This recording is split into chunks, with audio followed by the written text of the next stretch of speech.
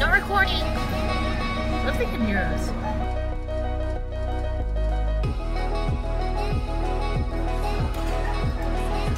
The vegetarian soup.